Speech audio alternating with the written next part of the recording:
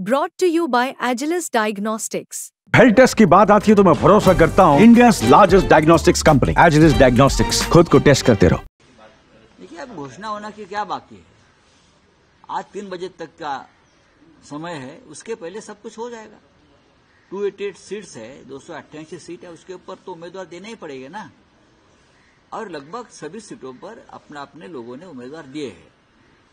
और हम दो सौ अट्ठासी सीट पर महाविकास आघाड़ी चुनाव लड़ेगी।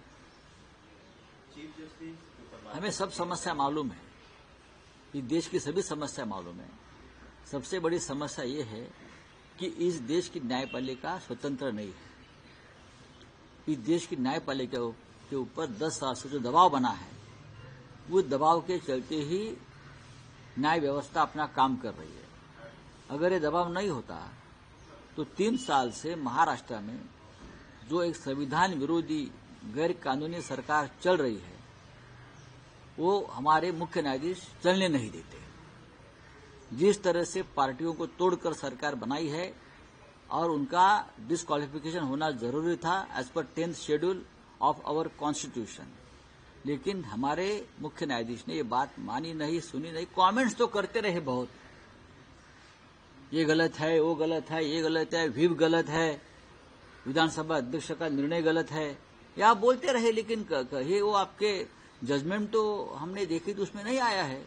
अब विधानसभा की मुदत खत्म हो गई, फिर भी आप निर्णय नहीं दे रहे हो। क्योंकि इस प्रकार से ही सरकार चलनी चाहिए। ये नरेंद्र मोदी जी और अमित शाह जी का इच्छा थी, और इस इच्छा के मुताबिक सर्वोच्च न्यायालय ने काम किया। तो अब ज्ञान देने के बाद भूल जाइए हमको हमारे पास भी ज्ञान है संविधान का।